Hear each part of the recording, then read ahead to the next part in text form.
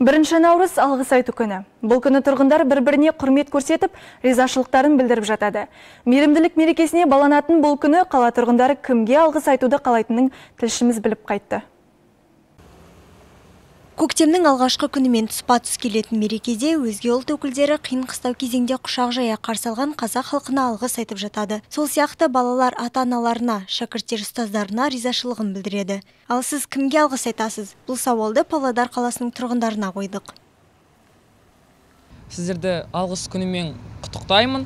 Мен өз алғыстарым анама айтам. Өсірген үшін, бала баққан үшін сол.